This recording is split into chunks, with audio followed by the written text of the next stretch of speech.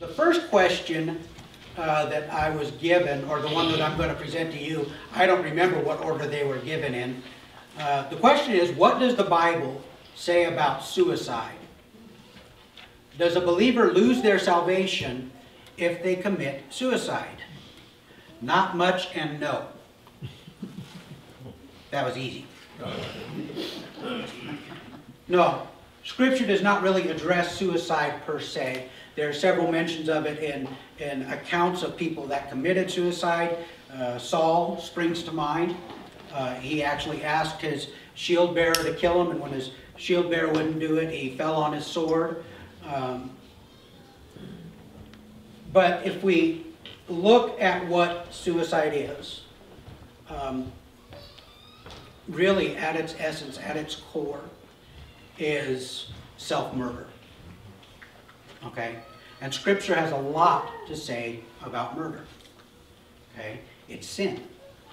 Um, to put it bluntly, it's sin. Okay? It's one of the big ten. It's not even, you know, outside the scope of the original ten. It's, it's just stuck right in there. Um, I think about Cain.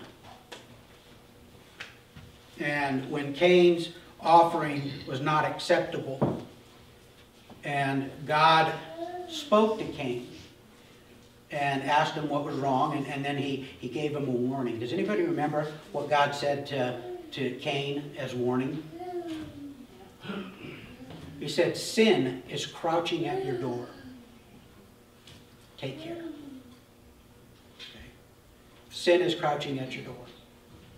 Now, we know the story. Cain went out to the field and he called Abel to go out with him and he ended up killing Abel. And then God confronts Cain again. And it's interesting in the story, uh, God says, the earth cries out for the blood that was shed on it. Okay? Uh, we talked a little bit about how all of creation is suffering under the curse. Okay? When Adam and Eve blew it, they didn't just blow it for themselves, they blew it for all of creation. Okay? So, it's sin. Pure and simple. Suicide is sin. Can we lose our salvation? I don't think we can. Now, let me clarify a couple things, okay? Because I know probably every person in here knows someone that professed to be a believer and may have lived for years, even decades, as a believer, but then turned away from the faith. Did they lose their salvation? Well, first I'm going to tell you, God has not made me privy to see the secret mark of those that are going to heaven and those that aren't.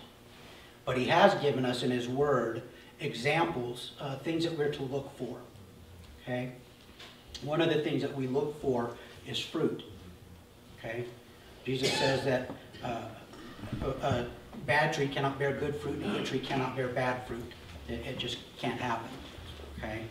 Um, now, every one of us has, at different points uh, in our lives, and probably even now, uh, we got some fruit that doesn't look so good on our tree but we're tapped into the root that gives life.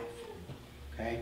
So, when I say, no, you will not lose your salvation, I say that with the understanding that the person who committed the sin is truly saved. Okay? Now, I'm not saying that everybody that commits suicide is not saved. I'm not saying that everybody that commits suicide is saved. What I'm saying is those that are saved are saved regardless of what they do. Okay? There's only one sin that I can find in Scripture that is unforgivable. And that's unbelief.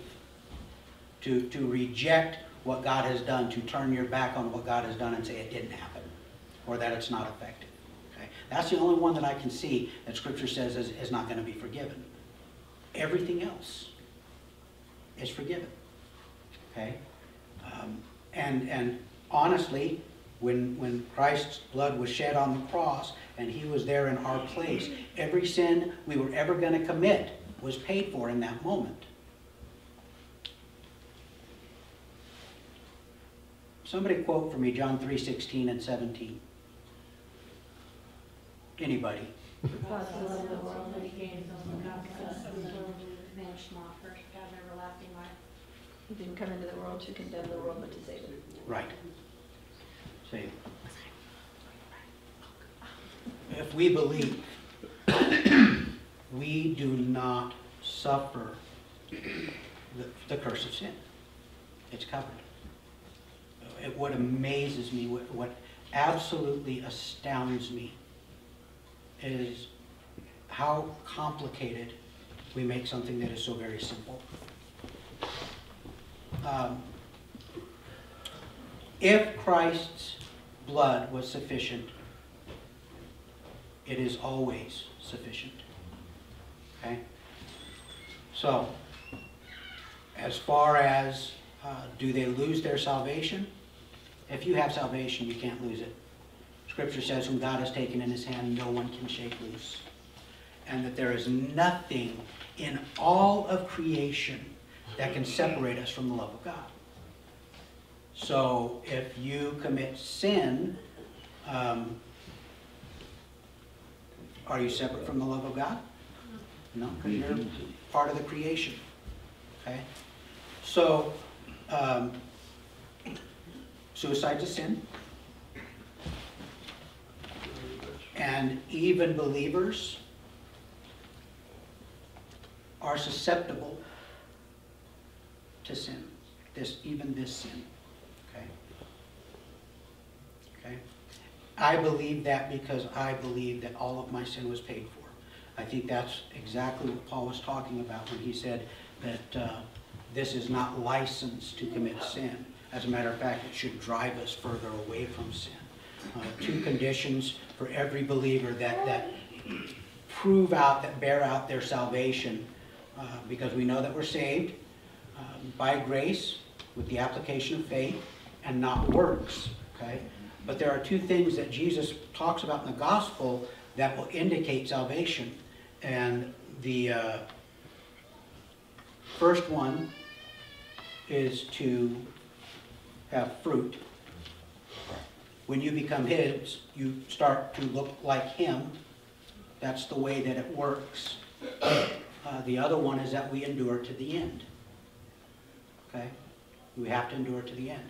And so when, when people say, oh, you know, he, he lived such a good Christian life when he was young, but it's all gone now, um, I, I don't know what that is. I don't. Um, because I, I'm not God. I don't have its infinite wisdom. That wasn't something he imparted to me. To me, he imparted thinning hair. Okay? It's easier for him to count. I feel sorry for you guys with all that hair. So, um, suicide is sin. Our sin is covered if we believe. And so, end of that one.